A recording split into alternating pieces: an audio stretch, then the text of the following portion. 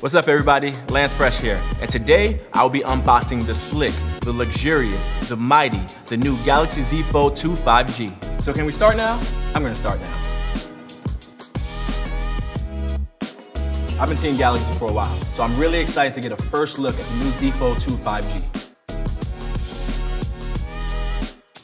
Don't forget to read the instructions so you can make sure you get the most out of this great device. The fast charger. I love these things. It says super fast, and it is super fast. Next up, we have our AKG headphones. I mean, you gotta appreciate the sound on these. Next up, we have a little quick start guide. We have our SIM key.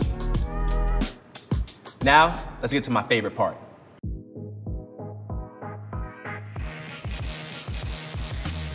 The first thing I'm gonna point out is that matte finish. It defines the edges of the phone even more, giving it that premium feel. I'm already a big fan. The design is so sleek and stylish, it's almost like it's a fashion accessory. I can see myself walking down the red carpet with this phone.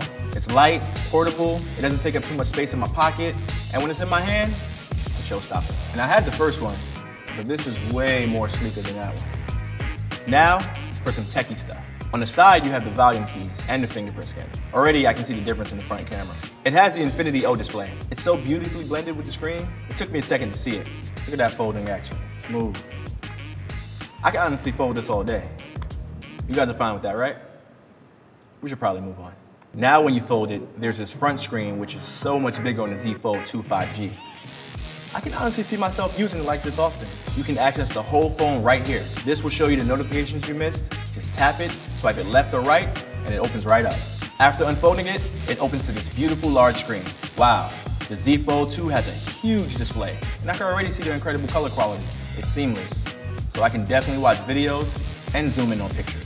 The thing that stands out the most to me is the flex mode and flex camera. I love that there's really no angle I can't get anymore, since it stays open at any angle I place it. Flex mode rearranges the apps and sets the controls you can see here at the bottom of the screen. Then you put it on a table or any flat surface and it sits however you want. This is another thing I love about it. The camera on this is so great, I can record things for my social media 100% hands-free.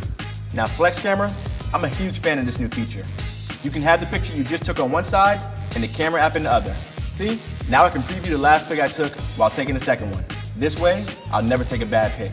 And this phone has an all-day battery. I mean, who doesn't need an all-day battery? When you're making calls, sending text messages, taking pictures and videos, that definitely comes in handy.